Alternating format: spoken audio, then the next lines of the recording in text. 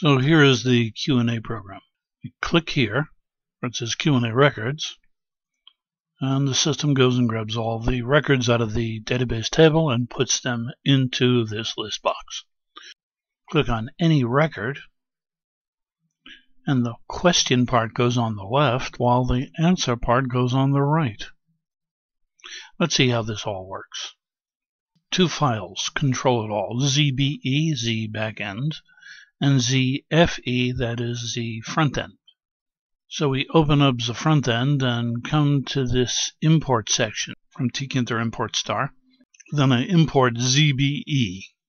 ZBE runs upon loading.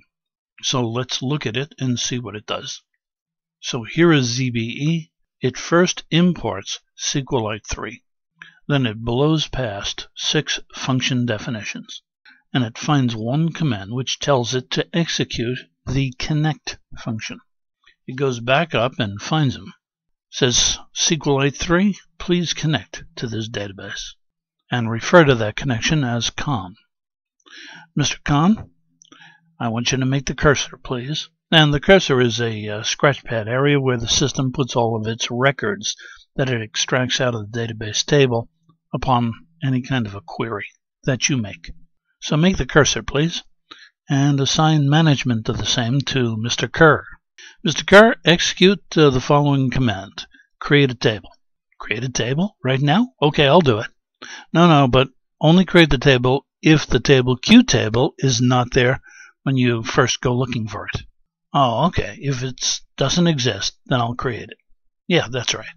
Of course, you'll have the uh, good sense to uh, name it Q table. All right, I'll do that. And uh, if this database over here, questions.db, doesn't exist, well, then create it because QTable will need it. All right, he says, I'll do that too. Now, the system's going to need an ID field, which is an integer and a primary key. It also needs the Q1 field, which will be a text field for the question, and an A1 field, which will contain text. That'll contain the answer. Now that he has created the table, within this created database. I tell him Khan, commit. That means write it all to the disk. And now close the connection to the database. So he closes it. Now we go back to the ZFE file where we left off.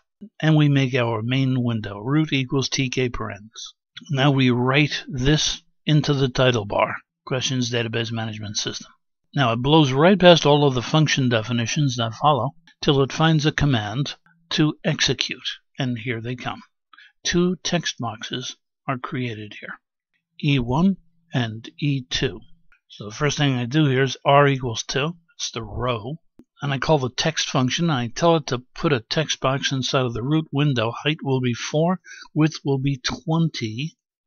And the font will be Arial 24 bold and assign that to E1, this guy here.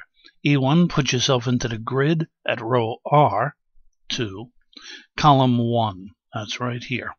So he puts himself in, just like so. Then I tell the text function to put himself into the root window. Height is 4, width is 35, a little bit longer. Font also Arial 24 bold, and assign that to E2. E2, put yourself into the grid at row R2, column 2. And so E1 is placed here and E2 is placed here. Now I want to keep this fairly short, so we will stop here and continue on in the next video. There's more to come.